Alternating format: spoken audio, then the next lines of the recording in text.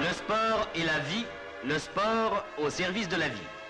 Accomplissant sa première liaison officielle, l'hydravion Laté 631 d'Air France a joint en 1h41 les bords de l'étang de Biscarrosse aux rives du lac Léman. Propulsé par six moteurs de 1600 chevaux, ce puissant appareil peut transporter 46 passagers à une vitesse de croisière de 320 km/h sur une distance de plus de 4000 km. Innovation, record curieux, l'hydravion pour la première fois accomplit une liaison uniquement terrestre. Course d'essai car c'est à la ligne transocéanique des Antilles que ce bel appareil sera affecté.